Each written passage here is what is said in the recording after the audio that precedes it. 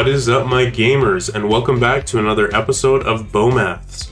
The last many lessons, we've been talking all about different properties of numbers and kind of what are the inner pieces, the inner machinations of numbers, and how we can use that for a lot of different things in math. We covered a lot of different things, so I hope you've gone back and reviewed them and prepared for this because today we are doing a little test, a little checkpoint, maybe even a midterm you might want to call it, where I'm going to be testing your mettle on all these concepts we did.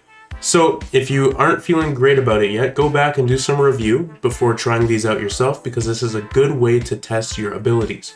So, as always, try the problems before I get into the explanations of them, because I'm going to be doing that in this video. It's always really easy to just watch someone do the problems, but it's a whole nother ballgame to actually do them yourself. So make sure you're always trying the problems yourself. So here they are, give them a shot, and without further ado, let's get into it. Alrighty, question number one. Suppose that number one is divisible by number two. Are the following statements true or false? And we have two different statements here. So these are general statements about numbers because we're not given what the numbers are. We just have number one is divisible by number two. And we want to see if the following are true or false. So it's just an example of a number being divisible by another number. We could say 8 is divisible by 4, right? So in this case, 8 would be number 1, and number 2 would be 4. And to be divisible, that means that we could do 8 divided by 4, and we would be getting a whole number out of it, right? There's no decimal or remainder left over. That's what it means to be divisible by something. So if 8 is divisible by 4, then in part A, when it says number 1 is divisible by number 2, if we looked at our specific example here, that would be saying 8 is a multiple of 4. And is that true? Well, yes, it's true because if we take multiple 4s, right, 4 times 2, that gives us 8 right? So since 4 times 2 is 8, that means 8 is a multiple of 4. So we would expect that part A will be true, that if number 1 is divisible by number 2, then it is also a multiple of number 2. All right, and let's look at part B. Number 1 is a factor of number 2. So that would be like saying 8 is a factor of 4. But is 8 a factor of 4? No, to be a factor means that 8 has to multiply some whole number to give us 4, but that's not the case, right? So this is a false statement, but 4 is a factor of 8. Not 8 is a factor of 4, so they actually have it backwards here. So it is a false statement, and if we wanted to make it true, we would have to say that number 2 is a factor of number 1, not the other way around. So this was just to kind of test um, your ability to understand kind of how divisibility, multiples, and factors all work together and this was from video 9. So if you weren't sure about that, go back and watch video 9, and you can hopefully understand how this question works from that. Let's go on to number 2. Alright, so number 2 says list all the factors of the following numbers by using the method requested. So we have two different methods over these three different parts. We have without using prime factorization, and then we have using prime factorization. So in two different parts of the series, we covered how to do each of those methods. So let's start with the first one. So part A says factors of 36. So the first way we looked at finding factors was we just kind of listed all the pairs that would multiply to 36, and we did so by kind of starting with them going in ascending order, and that allowed us to cover all of them. So if we had 1, 1 in, and itself is always a factor of a number, so 1 and 36 will be a factor pair of 36. And then 36 is even, so we know 2 will go in there. And if you do some um, thinking or maybe some guessing and checking, you'll see that 2 and 18 give us 36. And then we could go to 3. So this is now getting into uh, the times tables, which you hopefully have memorized. 3 times 12 is 36. And then what about 4? Does 4 go into 36? Yep, 4 times 9 is 36. And what about 5? Well, 5 is not going to go into 36, since we'll have 30 as a multiple of 5, then 35, then 40, so we skip over 36, so 5 won't work. And then we could go to 6. 6 will be a part of 36, so we'll have 6 times 6, right? And now we know we can stop because this goes in ascending order, this goes in descending order, so now that we've kind of reached 6 and 6 in both of them, we know that we have every single factor pair. So that was the first kind of way we learned how to do um, how to find the factors of a number. And that would have been covered, especially with this ascending and descending order aspect, that was covered in video 9.5.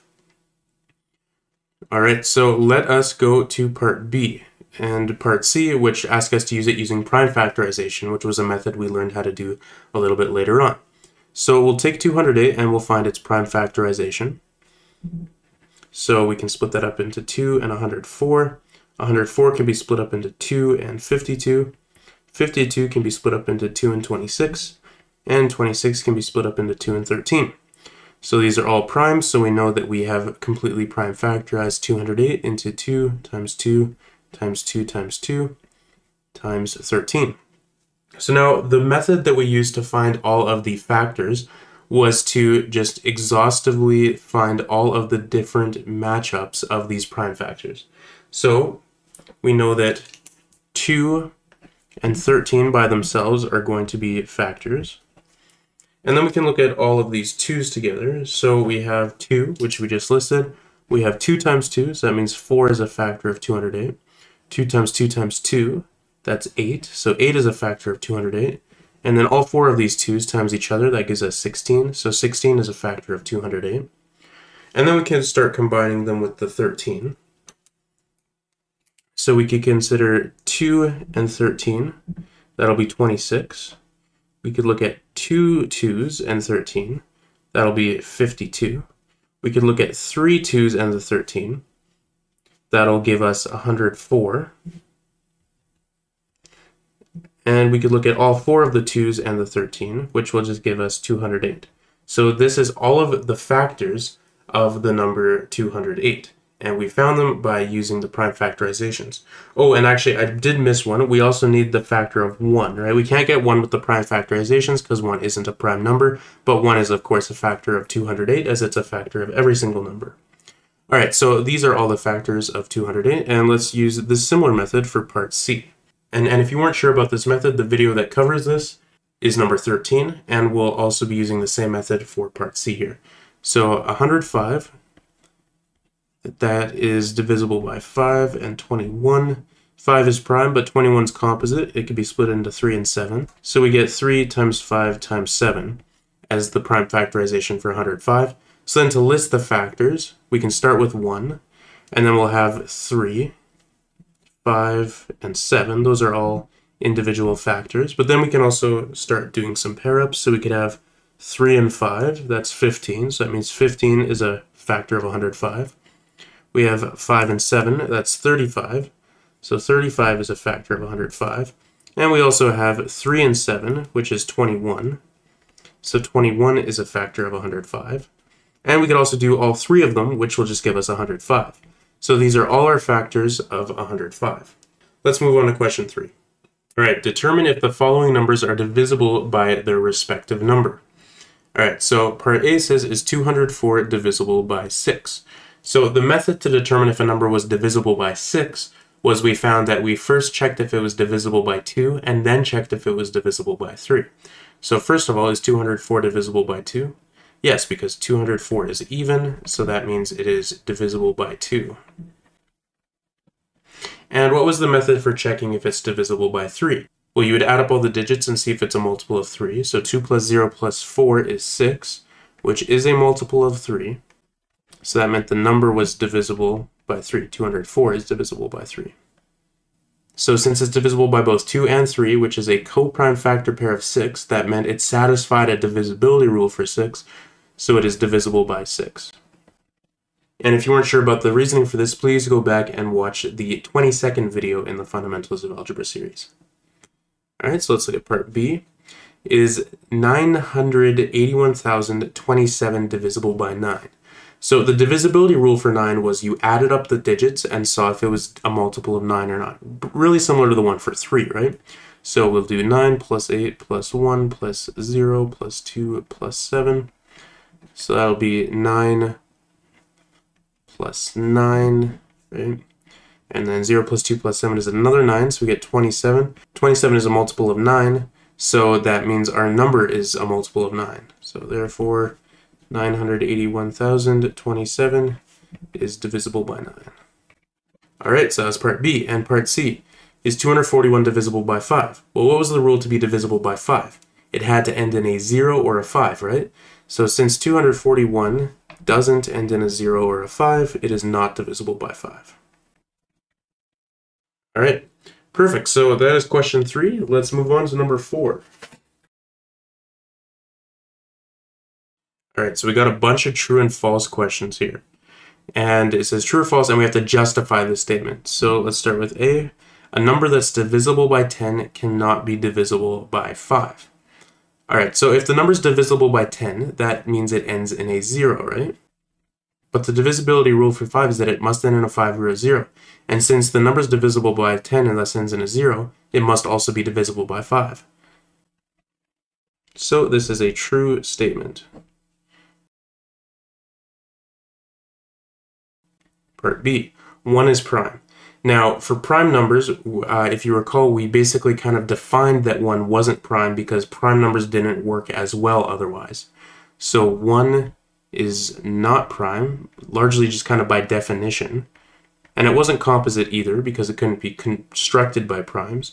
So B is a false statement. And if you want to know the video we discussed that, uh, that was from 11. All right, 1,828,072 is divisible by 8. So for this one, to look if the number was divisible by 8, we learned kind of a shortcut that we only had to look at the last three digits. So if we look at the last three digits, the number is 072. So we're basically just looking at 72. 72 is divisible by 8, since 8 times 9 is 72. That's just from our multiplication tables. So the whole number has to be divisible by 8. And we learned that shortcut and this method in video 22.5. So that means this is a true statement. It's divisible by 8. Question D. The main advantage of 17 cicadas coming out of the ground every 17 years is to satiate more predators. So we discussed this in video 21, which was kind of an application video. And we saw that the reason they came out every 17 years was because of their predator satiation uh, strategy, but it wasn't so that they could satiate more predators. It was so that when they satiated the predators by coming out at this 17 year period, that would essentially make it so that their life cycle would line up very infrequently with the predator's life cycle by choosing a prime number, which meant that it would be most likely co-prime to the predator's life cycle. That that meant that they would line up very infrequently, so the predators weren't able to get used to the predator satiation technique. So the main advantage was that their predator satiation wouldn't actually end up harming them long term by the predators being able to kind of build their survival strategy around eating these cicadas. So this was false. All right, part E, a number can have multiple distinct prime factorizations. So a prime factorization of a number is when we split the number up into its prime components, kind of the atoms that make up that number. And we noted in what was called the fundamental theorem of arithmetic that every number has a unique prime factorization, which means that they cannot have multiple distinct prime factorizations. So this is false because the fundamental theorem of arithmetic guarantees only one unique prime factorization. All right, and we discussed that in video number 12. All right, part F. There is only one way to construct a factor tree for a number. Now, one might think that because the fundamental of arithmetic guarantees only one unique prime factorization, but we could construct multiple different types of factor trees that just led to the same prime factorization. So, for example, if I looked at 12, I could split that up into 6 and 2, and then 2 and 3, and get the prime factorization 2 times 2 times 3. But I could also split 12 up into 4 and 3, and then split the 4 up into 2 and 2, and get the exact same prime factorization, but it is still using a different tree. And so we see that this statement F here must be false then, because we can construct different trees. Uh, and here's an example proving that that statement is false. And we discussed this in uh, video 12.5. All right, and lastly, we'll look at G for problem four. The greatest common factor of two coprime numbers is their product. So two coprime numbers meant that they had no prime factors in common, which meant that their greatest common factor had to be just one, since they have no other factors, right? So it's not their product. The greatest common factor is 1. So this is a false statement. The GCF is always 1. What was the product, though, was the lowest common multiple of two coprime numbers. So that was discussed in video 19 of the series. All right, moving on to question 5. All right, so we're asked to find the following and made some greatest common factor and lowest common multiple problems. So part A says find the greatest common factor of 14 and 35. Alright, so to find this, we started by finding the prime factorizations of these numbers. So the prime factorization of 14 is 2 times 7, and the prime factorization of 35 was 5 times 7. And the greatest common factor was we took all of the common prime factors in the prime factorizations of the numbers. In this case, the common prime factor happens to be just 7, so that means the greatest common factor will be just a 7. That is the largest factor common to both 14 and 35. We discussed that in video number 14 of the series. Let's move on to part B. We're asked to find the lowest common multiple of 175. So once again, we have to find the prime factorizations of these numbers. So 100 we could split up into 4 and 25, and 4 we could split up into 2 times 2, 25 we could split up into 5 times 5. So 100 is 2 times 2 times 5 times 5. And 75, we could split that up into 3 and 25. And 25 we could split up into 5 and 5. So 75 is 3 times 5 times 5. So to find the lowest common multiple, we essentially need to make sure that all of the factors of both of these numbers are present. So we know that for 100 to be covered, we need 2 times 2 times 5 times 5. That is guaranteed because 100 has to be covered. And to cover 75, we need the 3 times 5 times 5. But we already have the 5 times 5 covered. And since we want the lowest common multiple, uh, including another 5 times 5 is unnecessary and would make the number too big. So we don't need to worry about the 5 times 5, we can just worry about the times 3. So then multiplying all this out, we are going to get 300 is our lowest common multiple of 175. And if you'd like some more information on this method and the process, I would recommend checking out video number 16 of the series. And let's move on to part C here, where we have kind of a combination and it's of three different numbers. And we specifically discuss how to find the greatest common factor and lowest common multiple for sets of numbers that were of size greater than 2, so 3 numbers, 4 numbers, and so on, in the exercise video for Fundamentals of Algebra number 16. So we're going to start by finding the prime factorizations of all these numbers. So 12 is 2 times 2 times 3. 40 is 2 times 2 times 2 times 5. 20 is 2 times 2 times 5. And you can check to make sure I did all those prime factorizations correctly. So then to find the greatest common factor of 12, 40, and 20, we just need to find what's in common for all of them.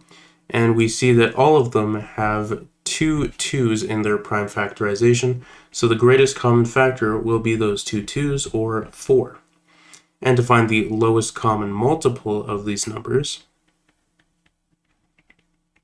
we need to just make sure that all of the numbers of their prime factorizations are covered. So if we do 2 times 2 times 3, that covers 12. And then to get 40, we have two of the 2's covered, but we still need one more 2 in there, so I'll add in another 2. And we also need a 5. So now 40's 3 2's and 1 5 are covered. And then for 20, we needed two 2's and a 5, but we already have those two 2's and a 5. So this number right here will be our lowest common multiple since it covers all of these numbers, so it will indeed be a multiple of them. So multiplying this out, we get 2 times 2 times 2, which is 8, times 3, which is 24, times 5, which is going to be 120. So that means the lowest common multiple is 120. So now it just asks us to add them. So we do the greatest common factor of 12, 40, and 20 plus the lowest common multiple of 12, 40, and 20. That is going to be 4, which was the greatest common factor, plus 120, which was the lowest common multiple, and that'll give us 124 as our final answer. So that was question 5. Let's move on to question 6. Aiden has a gear with less than 19 teeth, but only he knows the exact number of teeth it has. He claims that a 19-tooth gear would be the smallest gear satisfying the following condition. His gear and the 19 tooth gear would wear each other down the most evenly. How many teeth does Aiden's gear have? in terms of wearing, what would be the worst amount of teeth for a gear to have if it was attached to Aiden's gear? All right, so we have two questions here, and this was discussed in video 20 of the series if you want to go back and look at that. But we kind of talked about that in order for gears to wear each other down the most evenly so they would last the longest, we wanted the gears to have a coprime amount of teeth to each other. That meant that if there was a defect on one of the teeth here, that it wouldn't just be wearing down the same multiple spots every time, but it would be wear guaranteed to wear down each spot every single time because the greatest common factor of two coprimes is always 1. That means that it would always visit every single spot on the other gear. So that meant it would wear down the gear more evenly instead of just wearing down one segment of the gear. Um, but essentially, we're looking for two coprime gears.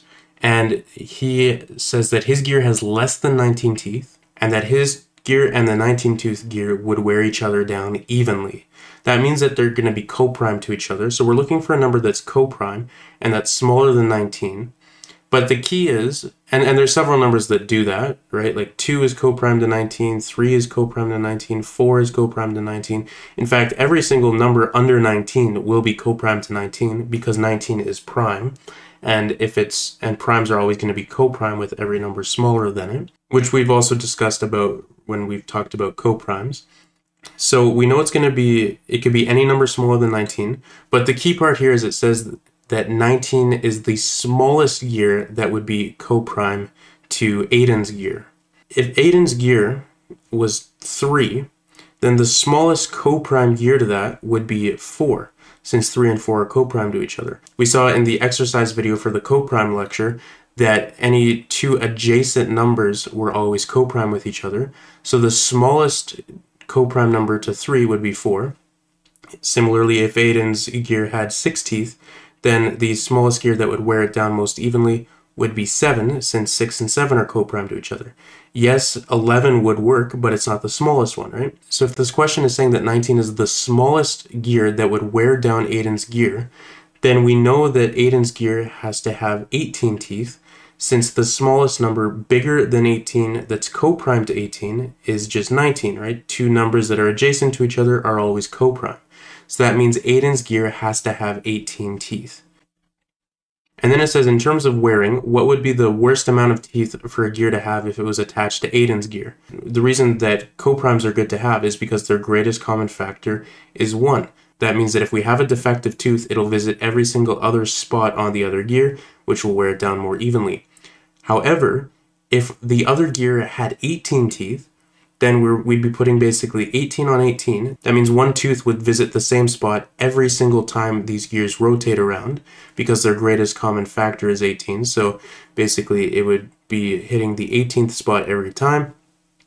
And because of that, uh, it would wear down the gear a lot faster. So in terms of gear wearing, the worst amount of teeth for a gear to have if it was attached to Aiden's gear would also have 18 teeth because 18 and 18 would mean that we would be just wearing the same spot down over and over and over again. So the worst gear would also have 18 teeth. All right, let's go on to question seven. I have a piece of sheet metal that's 300 inches by 120 inches. What's the biggest possible size of squares I can cut from the sheet metal such that I don't waste any sheet metal? So the way we discussed how to do this was we had a rectangle, and this is 300 inches by 120 inches.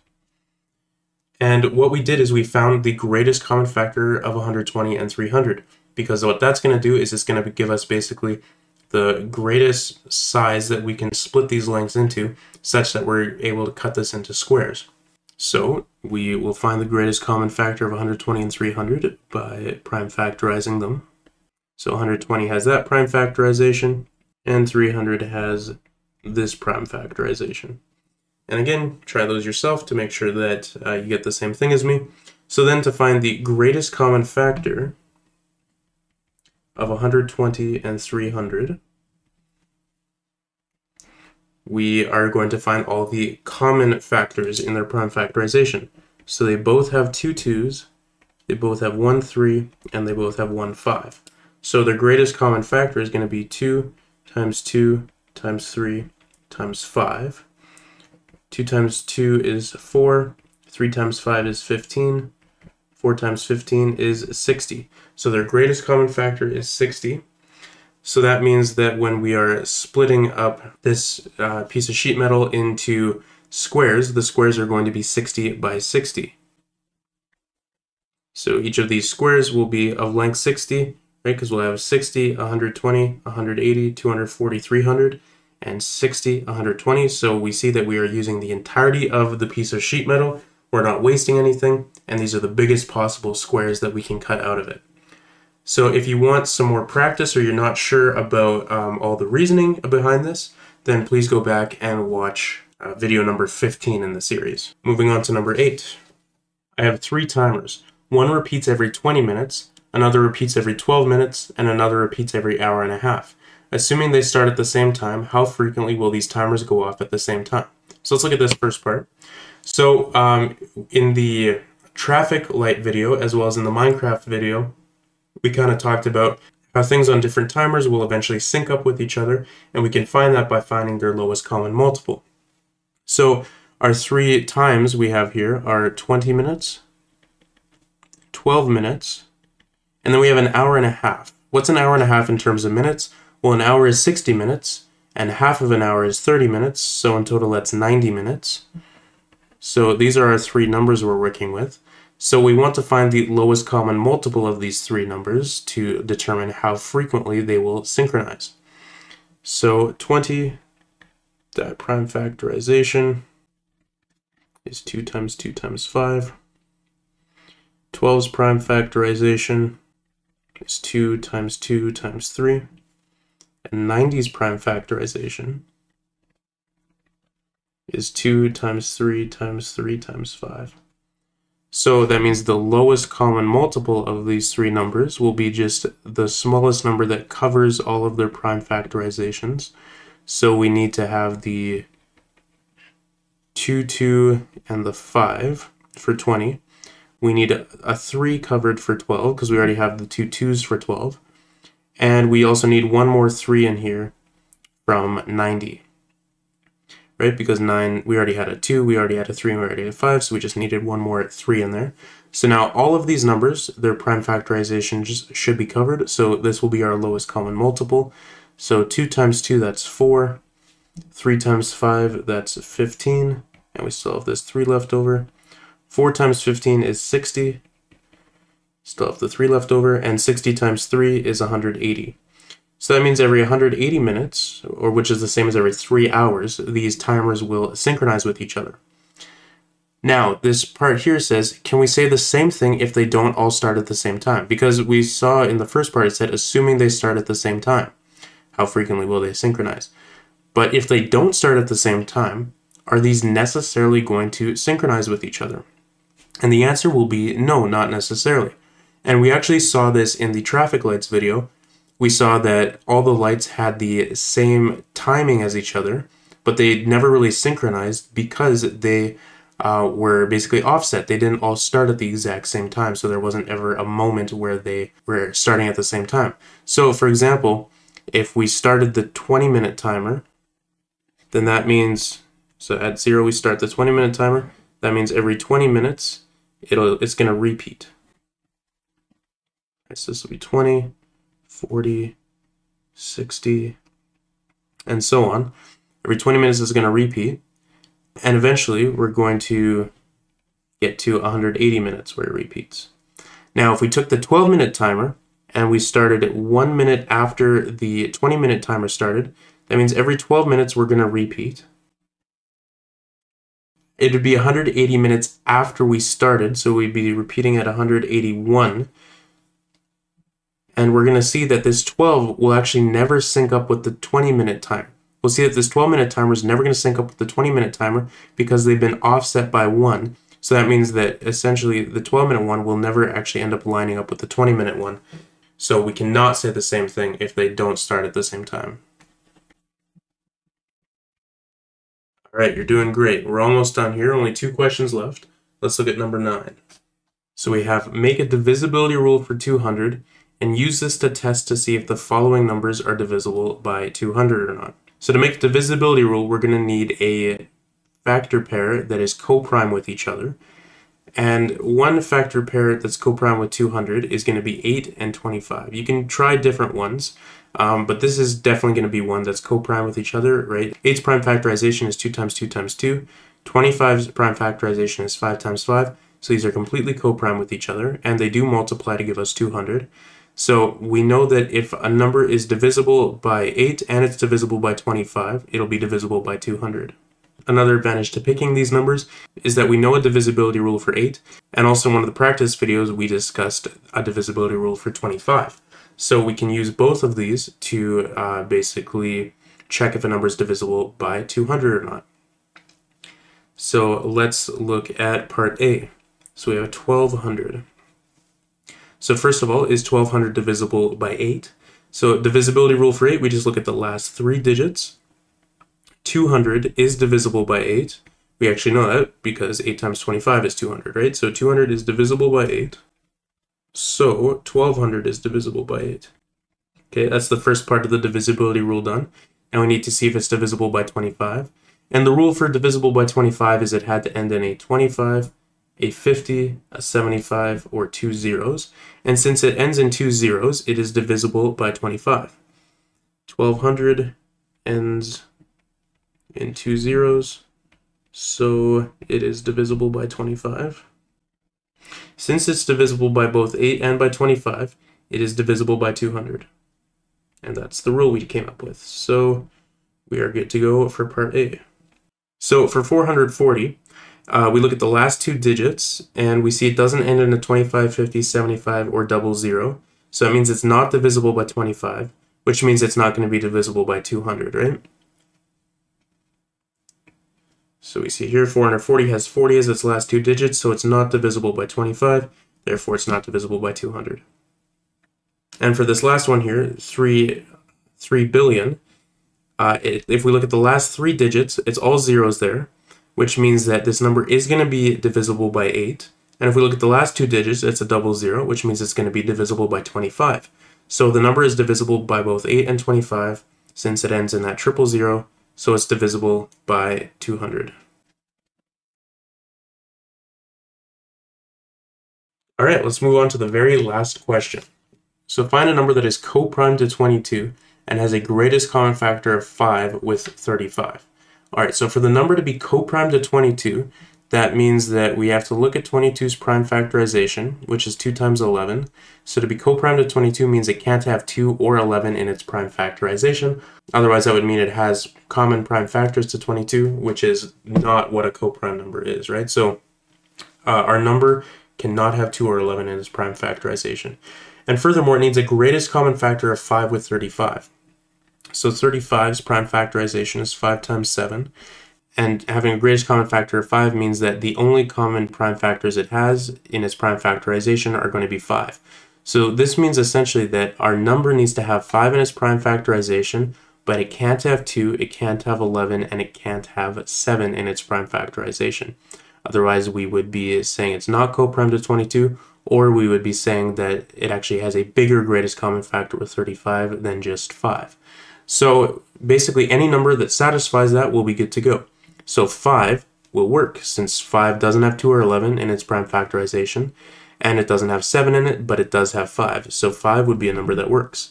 We could also do 15 since 15 is 3 times 5. Again, none of these numbers, 2, 11, or 7, are in its prime factorization, but it does have 5 in there. So this number will be co-prime to 22, and it will have a greatest common factor of 5 with 35. So 15 works, and let's just do one more just for kicks. 65. 65 is 5 times 13. So once again, only 5 is included there. 13 is good because we don't have a 13 in any of these numbers uh, that we weren't able to use. So 65 is going to be co-prime to 22, no common factors. And it's going to have a greatest common factor of 5 with 35 since 5 is the common number in their prime factorizations. So this also works. And you can try other numbers. So there you go, that's question 10, and that is the test. But I hope you found that useful, I hope you did well on the test, and if not, maybe go back and review some topics. If you have any questions, feel free to let me know. And as always, good work. I'll see you in the next video where we start talking about fractions and we get to apply all this stuff that we've been learning. But until then, have a good one, stay groovy, and I'll see you in that next video.